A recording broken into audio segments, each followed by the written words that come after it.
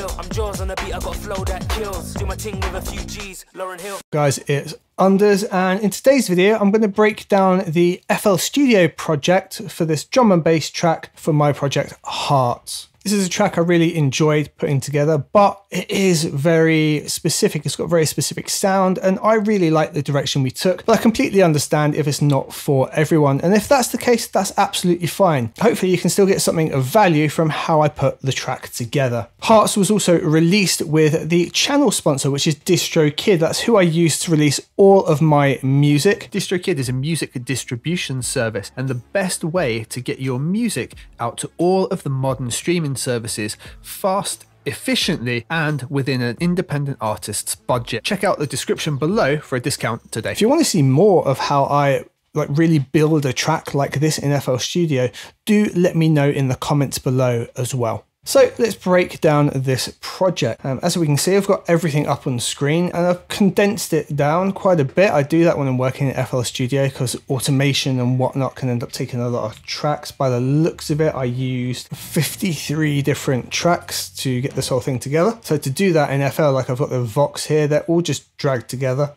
Let's just tap the arrow and it will open everything up for us. And so we'll break those bits down as we go. So let's just check out the intro. Now in the intro, I very purposely made a really weird off key kind of sound, something to kind of just like pick up the ear and be like, oh, that doesn't quite sound right. And we've got that right on the offset here.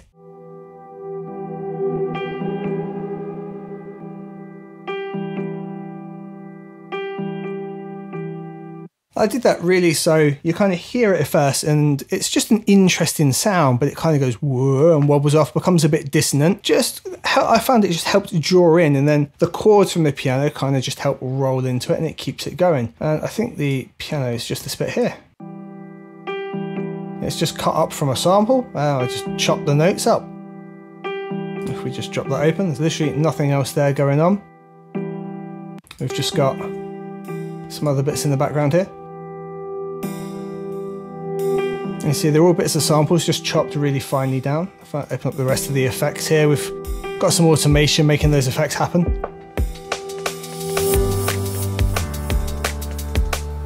And some just like some just re reverse effects here, just bringing us in. So we just 16 bar intro uh, and just you know some big long kind of like reverse crash sweep and a tiny little one just adding into it there. So we just got uh, and just as that's finishing up, I've got this like weird pitch down vocal bit I did. Barely even noticed this in there, but it just adds some texture.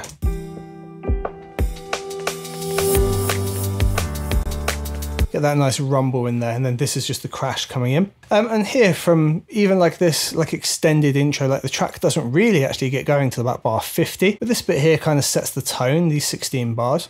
Uh, I've got the sub in here, very simply just made in Harmor probably. Just riding up and down there, we can find the track over here. It's called My Subber. I just make that in Harmor most of the time. Really, really simple to make. Um, yeah, it's just called base One on here, and like control wise, Fruity R compressor, Fruity limiter, and the Fruity limiter will just be there as a side chain against the kick. Nice and easy. Um, all the drums together will go into a bus over here. So if we bring the whole track together. And like really, really, really simple drums. They get a bit more complex later, but they're part of a chopped up break. Another bit of a chopped up break uh, and just a snare layered on top and then I've just made the ride separately in its own loop, right? You know, so chops up that bit of a break, chopped up this bit of a break. It's just kick drum. But it's chopped out of a break because you can hear some shuffly drums in there. Together, they just kind of shuffle nicely together. Just a snare on its own, just to fill in. Just a nice little click.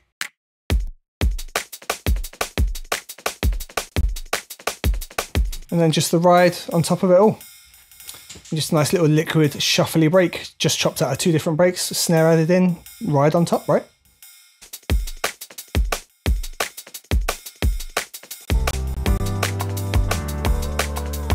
And then just building up this section, uh, we've just got some very simple vocals coming through. We should have.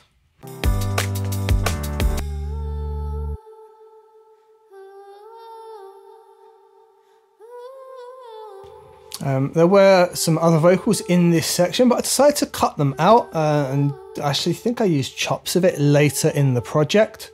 I just liked having these R's in the background just to start the build up.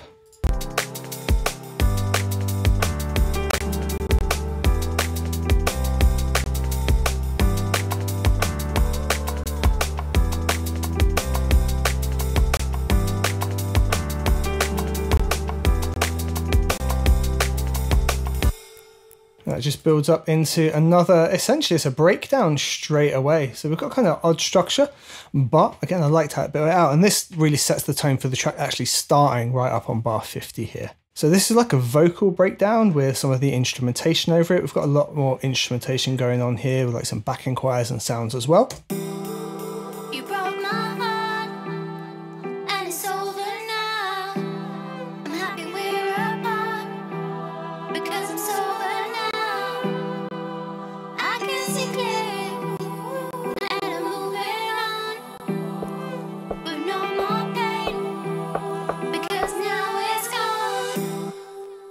There's loads of delays and reverbs and things just helping the vocal travel along. We can see all the automation in there.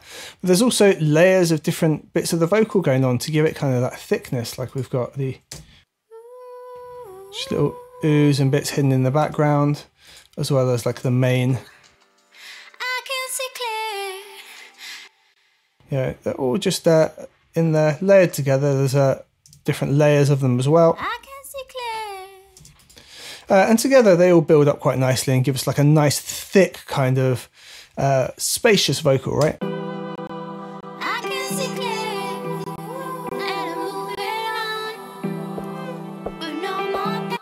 Cool. And then just from here, like the break starts to filter in again just to get us started in the whole track. And yeah, we've got some automation just helping it filter in. I've just used that initial chop up here, so it's still a bit like stuttering, it's not quite going yet.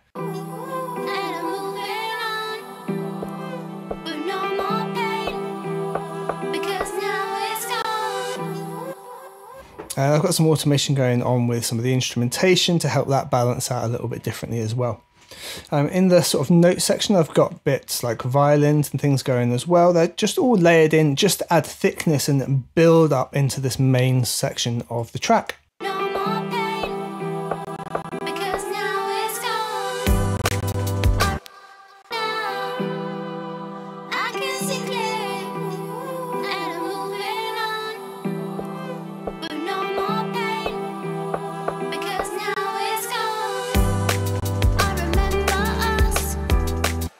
There we move nicely into the main section where for the most part like it's stripped back. It's the sub. There's a couple of little effects going on here and there. So um, there's a section where we talk about being at a festival. I got some festival like crowd sounds just to kind of help give that feel and build that into there. Um, but it's, you know, it's mainly just the instrumentation. We've got the piano. I've then got a chord layer uh, using a separate uh, piece of audio behind that. Haven't even chopped it up as much here, I don't think. I might have just done these uh, same four bars over and over. A uh, little bit extra percussion and things like that, and the drums, they switch up a touch.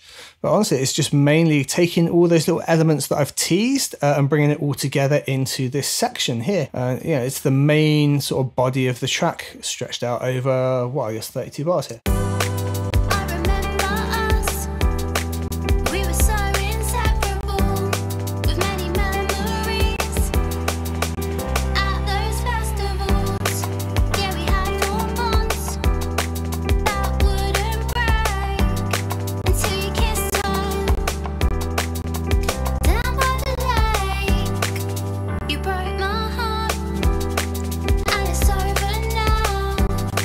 Shaker here being the biggest thing added.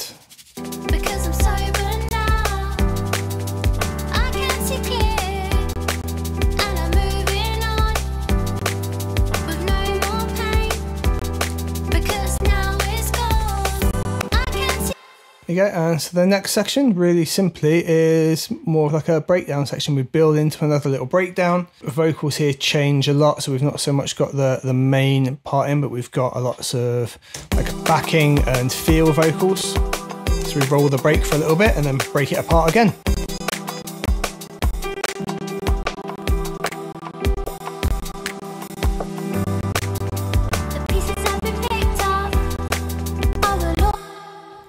Sorry if that's stuttering, but this project apparently doesn't want to run while I'm screen recording too.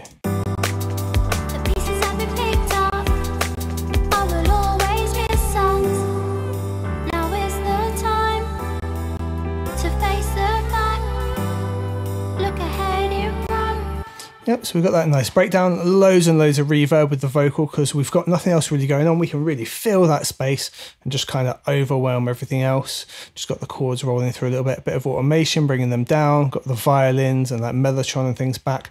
Even take the sub out in this section and really strip it back. And then we've got another verse. Can roll that again. So we've got the same thing. We're using all those elements, bringing them all together again. And that is it, basically. That, that rolls the whole song together. We've then got an outro where the break I chopped up for the whole thing. I just used the break uh, in the outro. I've got some, some editing on there just to help it fade out in the end.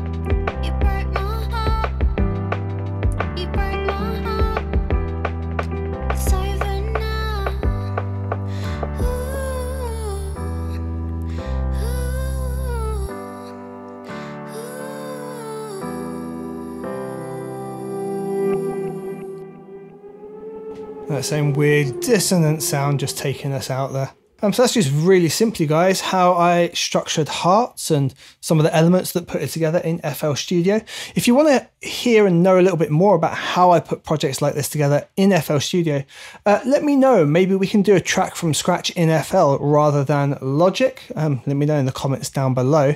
And uh, yeah, we'll look at doing that. Maybe I'll produce the next like vocal liquid track entirely in FL and we can document it on the channel since uh, some of the Logic ones have been so well received. Thank you very much for watching, guys, and I look forward to seeing you on the next one.